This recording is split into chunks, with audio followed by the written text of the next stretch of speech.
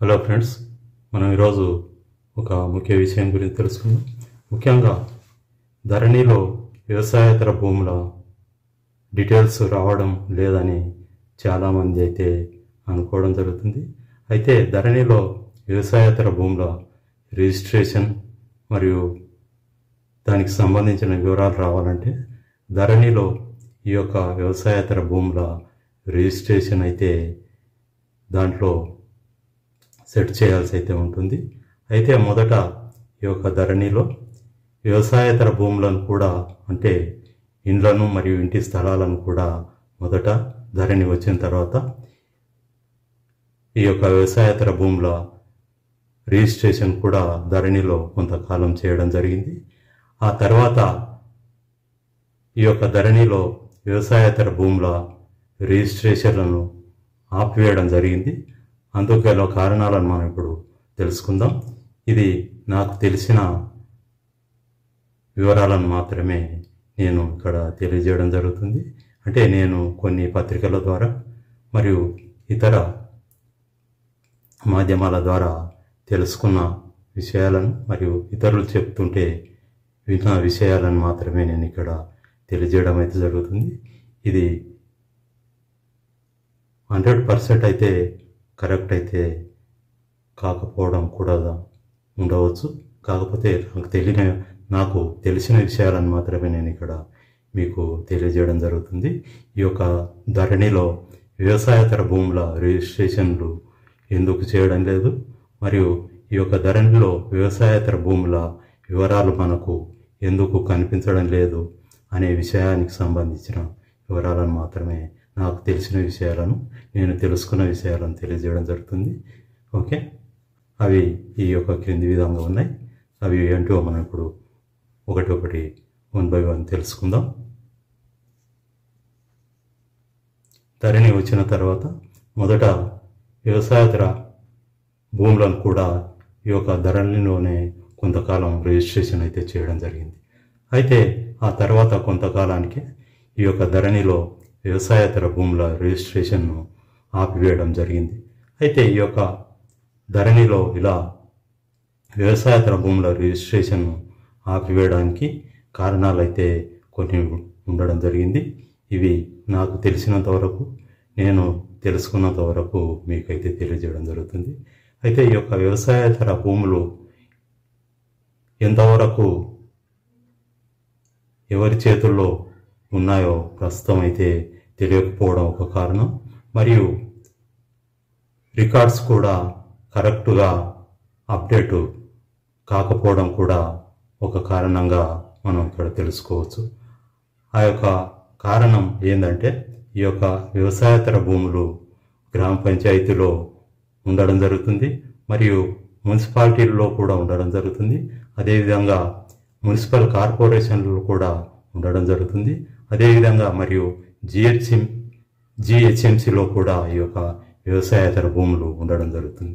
అయితే వీటన్నిటిలో కూడా ఉన్నటువంటి వ్యవసాయ భూములు వ్యవసాయేతర భూములుగా మారిన తర్వాత వీటిని ఎవరు రిజిస్ట్రేషన్ చేసుకున్నారు మరియు వారి పేర్లు మళ్ళీ మళ్ళీ రిజిస్ట్రేషన్ జరిగినప్పుడు అంటే ఒకరు కొని మరొకరికి అమ్మడం అదేవిధంగా వారు మరొకరికి అమ్మడం ఇలా ఎంతోమంది కొనడం మరియు అమ్మడం జరగడం ఒక కారణంగా కూడా మనం చెప్పుకోవచ్చు. అదేవిధంగా ఈ యొక్క వ్యవసాయేతర భూములు ఎవరి పేరు మీద ఉన్నాయో ఒక క్లారిటీ లేకుండా ప్రస్తుతం అయితే ఉండడం జరిగింది. ఇది కూడా మనం ఒక కారణంగా ఈ యొక్క ధరణిలో ఈ యొక్క వ్యవసాయేతర భూముల వివరాలు లేకపోవడానికి మరియు ధరణిలో వ్యవసాయేతర భూముల రిజిస్ట్రేషన్లు జరగకపోవడానికి కారణంగా చెప్పుకోవచ్చు. అయితే ముఖ్యంగా ఇండ్లు ఉంటేనేమో ఆ యొక్క ఇండ్లకు ఇంటి నెంబర్లు మరియు పీటీ నెంబర్లను ఇవ్వడం జరుగుతుంది. కానీ ఇది కూడా అన్ని చోట్ల కరెక్ట్గా అమలు కాకపోవడం కూడా ఒక కారణంగా చెప్పవచ్చు కాబట్టి ఈ యొక్క కన్ఫ్యూజన్ వలన ఏ భూమి ఎవరిది అనేది ధరణిలో చేయడానికి సాంకేతికంగా కొన్ని సమస్యలు రావడం వలన ధరణిలో వ్యవసాయేతర భూముల రిజిస్ట్రేషన్ను కొంతకాలానికే ప్రభుత్వం ఆపివేయడం జరిగింది. ఇప్పుడు మళ్ళీ పాత పద్ధతిలోనే అంటే సెంట్రల్ ఆర్కిటెక్చర్లోనే ఈ యొక్క వ్యవసాయేతర భూములను రిజిస్ట్రేషన్ చేయడం జరుగుతుంది. ఈ విధంగా ధరణిలో వ్యవసాయేతర భూముల రిజిస్ట్రేషన్ జరగకపోవడానికి మరియు ధరణిలో వ్యవసాయేతర భూముల వివరాలు మనకు కనిపించకపోవడానికి ఈ యొక్క కారణాలను మనం చెప్పుకోవచ్చు. కాబట్టి త్వరలోనే ఈ యొక్క సమస్యను కూడా ప్రభుత్వం అధిగమిస్తుందని సంబంధిత అధికారులు అయితే తెలియజేయడం జరుగుతుంది. అటు తర్వాత ధరణిలోనే వ్యవసాయేతర భూముల వివరాలను కూడా మనం చూసుకునే అవకాశం కూడా అది త్వరలోనే వస్తుందని కూడా సంబంధిత అధికారులు అయితే తెలియజేయడం జరుగుతుంది. ప్రస్తుతానికైతే ధరణిలో వ్యవసాయేతర భూముల రిజిస్ట్రేషన్ కానీ మరియు వ్యవసాయేతర భూముల రిజిస్ట్రేషన్ అయినటువంటి భూముల వివరాలు కానీ మనకు కనిపించడం జరగదని అధికారులు తెలియజేస్తున్నారు. ఇది ఫ్రెండ్స్ మనకు వ్యవసాయేతర భూములను ధరణిలో ఎందుకు రిజిస్ట్రేషన్ చేయడం లేదు? మరియు మొదట రిజిస్ట్రేషన్ చేసినప్పటికీ తర్వాత ఆపివేయడానికి గల కారణాలు మనం ఈ యొక్క వీడియో ద్వారా మనకు తెలిసినంత వరకు తెలియజేయడం అయితే జరిగింది. ఇది నా నేను తెలుసుకున్న పత్రికల ద్వారా మరియు కొన్ని కొందరు అధికారులు చెప్తుంటే ఇన్న విషయాలను మాత్రమే నేను ఇక్కడ తెలియజేయడం జరుగుతుంది.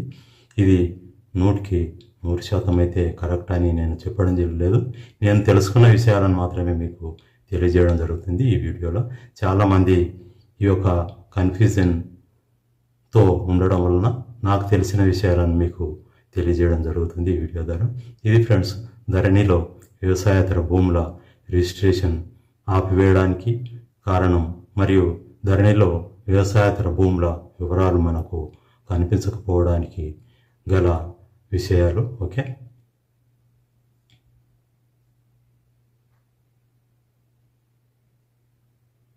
Hello friends please subscribe Vasu channel మీరు ఈ యొక్క వాసు ఛానల్ను సబ్స్క్రైబ్ చేసుకోవడం ద్వారా ఇలాంటి వీడియోలు మరిన్ని మీకు రావడం జరుగుతుంది.